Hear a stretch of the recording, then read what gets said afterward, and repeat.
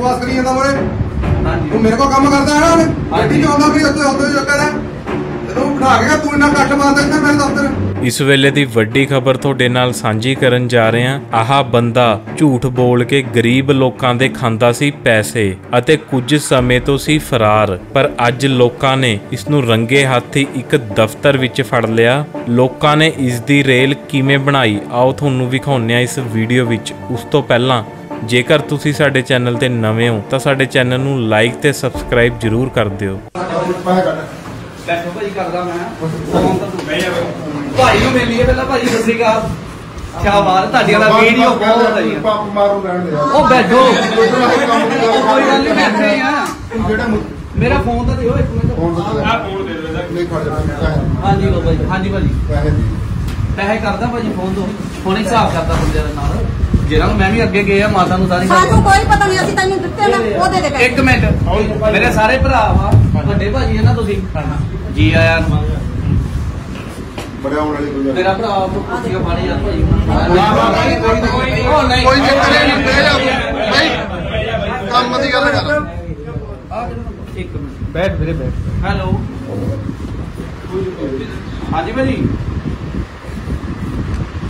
ਕੁਛ ਨਹੀਂ ਆ ਭਾਜੀ ਹੁਣੀ ਆਏ ਸੀਗੇ, ਜਿਹੜੇ ਆਪਾਂ ਰਾਜਨ ਭਾਜੀ ਉਹਨਾਂ ਨੂੰ ਸਾਬੀ ਨੂੰ ਪੈਸੇ ਨਹੀਂ ਦਿੱਤੇ ਸੀਗੇ।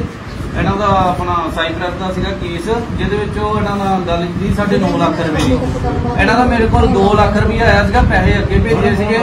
ਇਹਨਾਂ ਦਾ ਇੱਕ ਬੰਦੇ ਦਾ ਵੀਜ਼ਾ ਕਢਵਾਇਆ ਸੀਗਾ। ਮੁੜ ਕੇ ਰਾਜਨ ਰਾਜਨ ਭਾਜੀ ਉਹਨਾਂ ਨੇ ਆਪਾਂ ਨੂੰ ਪਿੱਛੇ ਪਾਤਾ, ਮੁੜ ਕੇ ਇਹਨਾਂ ਦਾ ਵੀ ਨਹੀਂ ਫੋਨ ਚੱਕਿਆ। ਦਫ਼ਤਰ ਹੈ ਭਾਜੀ? ਭਾਜੀ ਹੁਣੀ ਦਫ਼ਤਰ ਆਏ ਵੇ ਹਾਂਜੀ।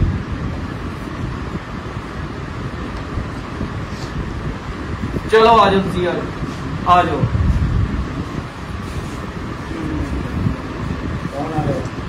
ਇਹ ਕਿਹਦੇ ਮਾਲਕ ਹੈ ਜਿਹੜੇ ਮੈਂ ਇਹਦੇ ਤੇ ਕੰਮ ਕਰਦਾ।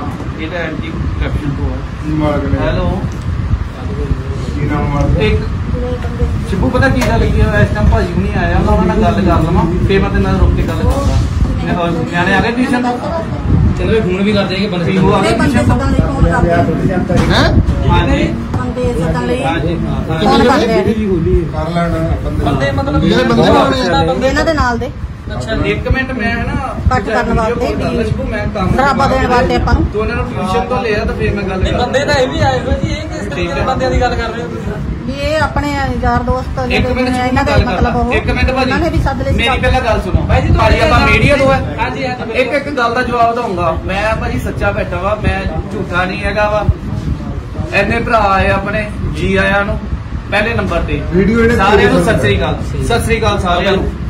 ਵੱਡੇ ਭਾਜੀ ਗੱਲ ਹੋਈ ਹੈ ਜੀ ਇੰਦਾ ਅੱਜ ਤੋਂ ਫਰਵਰੀ ਦੀ ਗੱਲ ਹੈ ਜੀ ਇਹ।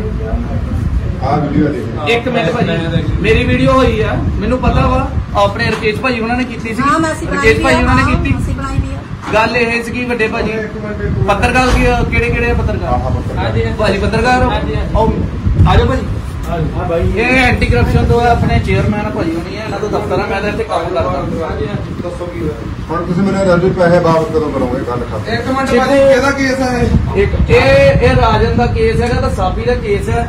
ਮੇਰੀ ਤੇਰਾ ਕੀ ਲੈਣ ਦੇਣਾ ਚ ਇਸੇ ਨੂੰ ਦਿੱਤੇ ਮੇਰਾ ਗਏ ਪੈਸੇ ਇੱਕ ਮਿੰਟ ਮੈਂ ਪੂਰੀ ਗੱਲ ਦੱਸੂਗਾ। ਤੇਰਾ ਕੀ ਲੈਣ ਦੇਣਾ ਇਹਦੇ ਵਿੱਚੋਂ ਭਾਜੀ ਲੈਣ ਦੇਣ ਮੇਰਾ ਕੋਈ ਨਹੀਂ ਹੈਗਾ ਵਾ। ਹਾਂ। ਗੁੱਡੂ ਇੱਕ ਮਿੰਟ ਗੱਲ ਕਰਦਾ ਪੁੱਤਰ ਥੋੜਾ ਬੰਦ ਕਰ। ਹਾਂਜੀ। ਤੇਰਾ ਕੀ ਲੈਣ ਦੇਣਾ ਚ ਮੇਰਾ ਭਾਈ ਇਹਦੇ ਵਿੱਚ ਕੋਈ ਲੈਣ ਦੇਣ ਨਹੀਂ ਆ। ਸਾਬੀ ਦੇ ਦਫ਼ਤਰ 'ਚ ਮੈਂ ਕੰਮ ਕਰਦਾ ਸੀਗਾ। ਹਾਂ। ਡਾਇਰੈਕਟ ਅਬਰੋਡ ਦਾ ਆਫਿਸ ਹੈ ਸਾਫੀ ਮਾਰਕੀਟ ਹਾਂ। ਆ ਮਾਤਾ ਜੀ ਹੁਣੀ ਆ ਮਾਤਾ ਜੀ ਉਹਨਾਂ ਕੋਲ ਕੈਮਰਾ ਮਾਰਦਾ ਮਾਤਾ ਜੀ ਹੁਣੀ ਆਏ ਸੀਗੇ ਆਪਣੇ ਕੋਲ। ਉੱਥੇ ਬਹਿ ਕੇ ਇਹਨਾਂ ਕੋਲੋਂ ਪੈਸੇ ਲਿੱਤੇ। ਸਾਬੀ ਦੇ ਦਫ਼ਤਰ ਚ? ਹਾਂਜੀ।